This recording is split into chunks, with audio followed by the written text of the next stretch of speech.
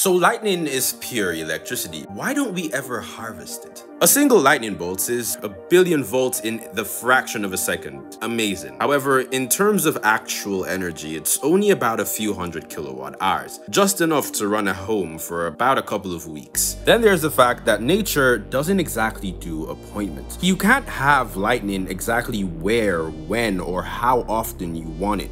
It could take days, weeks, or even months before you finally get a strike. That's not an energy strategy, it's just wishful thinking. But let's go back to the lightning bolt. Say you catch one. What you've captured is violence, a huge spike of energy in a tiny fraction of a second at absurd voltages. Our power grid, however, wants smooth, controlled, predictable flow. Your phone isn't designed to charge in the fraction of a second. It's like trying to turn an explosion into a gentle breeze.